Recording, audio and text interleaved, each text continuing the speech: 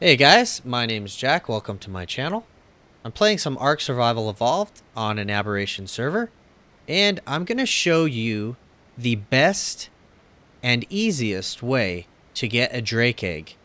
Now, this is mainly for your first Drake egg because uh, once you already have a Drake, it's pretty easy to get Drake eggs. You can just fly down there on your Drake. But for your first one, there's a couple ways you can do it. You can either do it on foot, the way I'm going to show you, or you can take a dino. Um, I think the dino way is probably uh, an okay way to do it, but of course you need some high level stuff. You need to be able to make sure they don't take radiation poisoning. And uh, so there's a little bit more work that goes into it with the dinos. Whereas this is something you can do actually fairly early game. So let me show you what I've got, guys. So everything I have is primitive. I have, if you notice, I have a primitive hazard suit. I have a uh, glider suit skin I'm going to put on. And I have 15 climbing picks. Okay? Um, I also have a couple stacks of meat. And I've got a couple water jars. Um, you, This is basically broken into two phases. The first part is flying over there. So you need to be fairly proficient in in using the wingsuit. And once you get there you need to be fairly proficient in climbing out. Um, mainly because if you're not proficient in it if you're not if you can't do it fairly quickly you're gonna run out of climbing picks and you're gonna um, and that's really gonna suck to leave an egg down there because you you die because you can't get out. So that's what I got. Everything's primitive. Okay guys 15 primitive climbing picks. You could probably even bring a few more, but I'm doing it with 15. You need to make sure you have food and water, and that's it, guys. So, without any further ado, let's get started.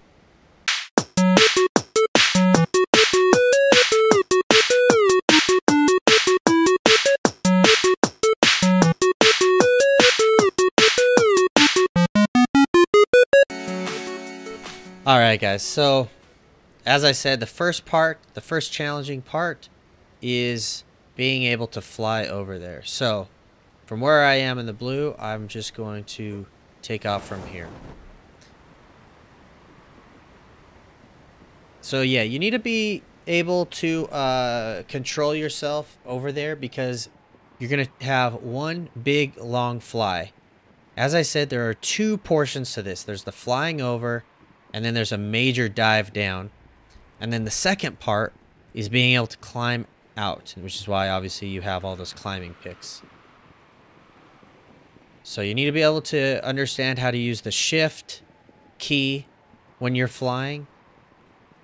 And um,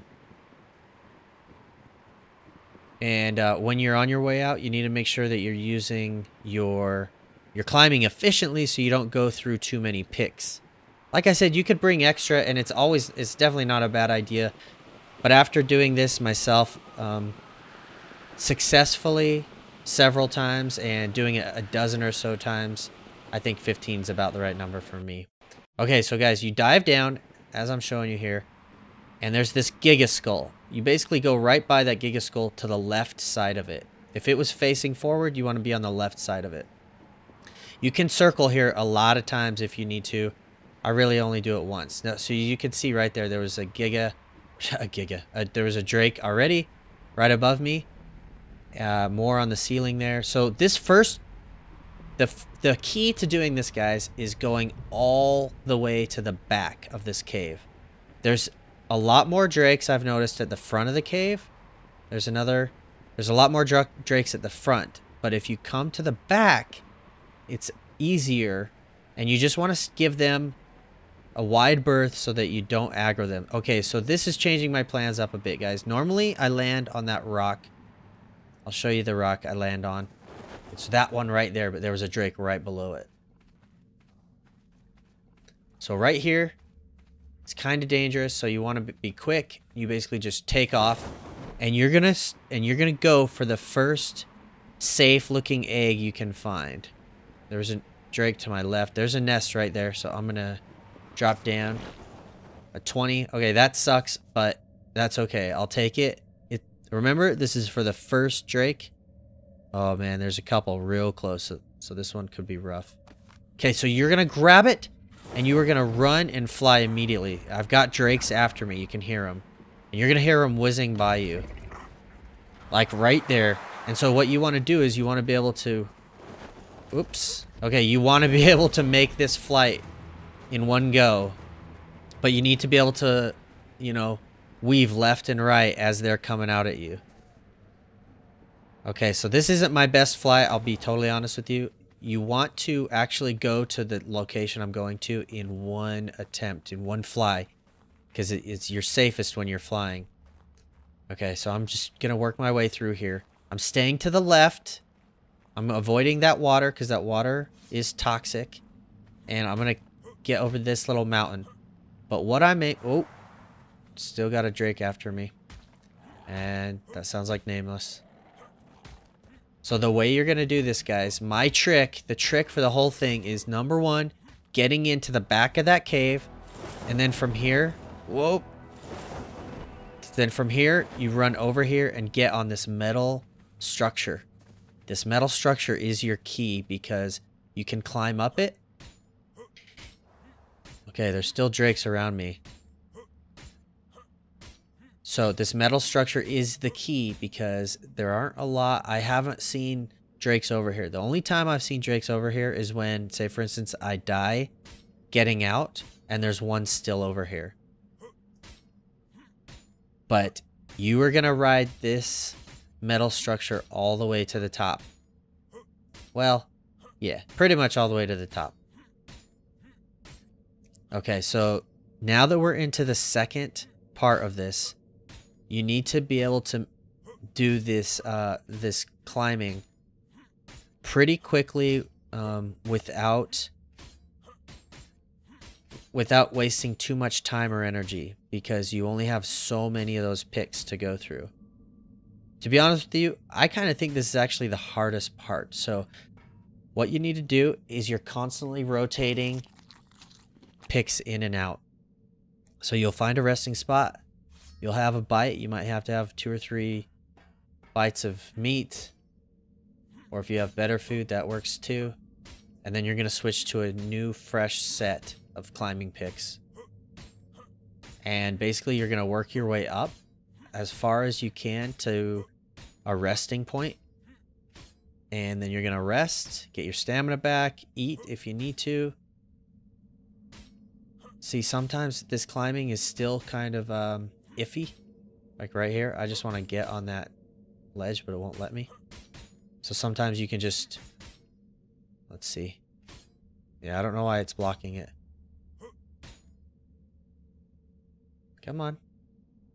Alright, there we go. That works. I just put my climbing picks away and I fell. And I was safe. I knew I was safe to fall. So that's that's the thing, guys. You want to make sure you have plenty of life on your climbing picks. Okay. So I'm starting with a fresh one. And basically, this is how it works. I mean, this is really how it works in real life climbing too, if you've ever climbed in real, real life. Uh, you climb from one point to the next. You don't want to... Um, I would rather, personally, not not um, rest while I'm on the side of this metal structure. I'd rather rest when I'm standing. Get a bite to eat. You're safer. There we go. So it's just like a slow, methodical thing. You don't want to be rushed. You want to be patient. There's a couple points like this one where you can't really tell where your where your uh, next resting point is. So you just have to make sure you have a fresh set of picks on you. And you just don't make any wasted movements. One ledge to the next, guys. One ledge to the next. And this is this is seriously the the hardest part in my opinion. Like you get once you get an egg and you can get out of that Wyvern Canyon, you just have to be smart. Like most of it's just being smart with your picks. So, um I think I'll speed some of this up. We'll get to the point where I'm heading back home because this is basically what it is. Um for quite a while. I think, usually the climbing part might take 20 or 30 minutes even. So you just need to be smart about how you do it. Um, one other thing to mention is that if you have an earthquake while you're climbing, you want to not move. Like, don't even try climbing because if you do, you're going to fall. Okay, so here's a point. I think I may have gone. I think I may have gone um, too high. And you do want to make sure that you kind of stick to the outside of the structure so that you don't get stuck on the inside. There we go. Okay, so stick to the outside. You can just go right up. And you just want to get up as high as possible to the point where you can basically fly out of this pink radiation zone and you can fly or use your wingsuit wingsuit to get home. Sometimes this climbing is a little buggy, so I would definitely recommend you practice it a little bit so you're comfortable before you head into the Drake Cavern. Otherwise, it's going to be a waste. And there's some points that are just kind of weird. But guys, I'm to speed it up here because it's it's pretty repetitive. A lot of the same stuff with me, me climbing. And I will show you how I get out of here, okay? Stay tuned.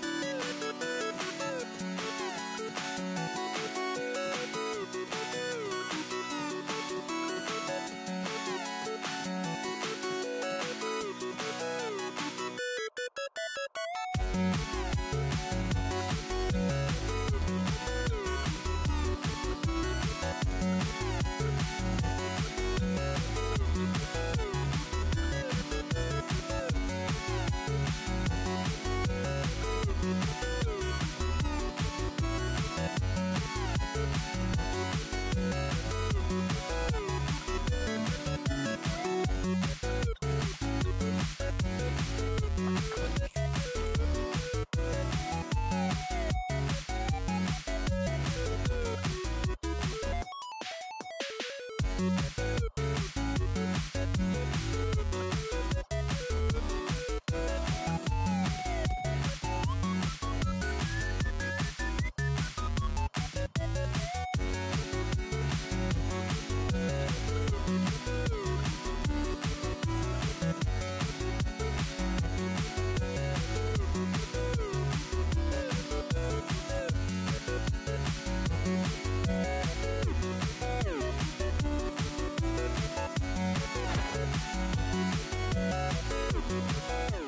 Alright guys, so that is going to end it.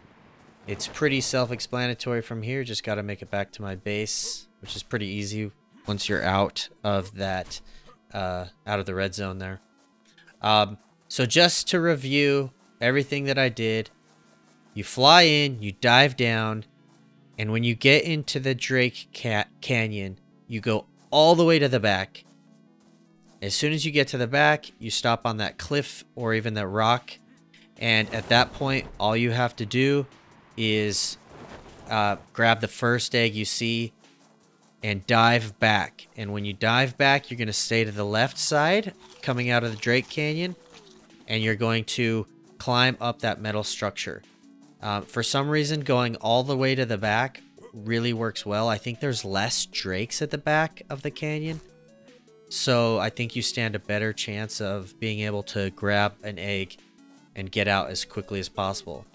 After that, the hard part is is managing your climbing picks and making sure you're efficient and you don't do anything uh, anything wrong basically. Just be patient and be smart. So guys that is going to end it. If this episode was helpful please uh, leave a thumbs up. And if you enjoy the content subscribe to the channel. Got more episodes just like this one. Talk to you soon guys. Bye bye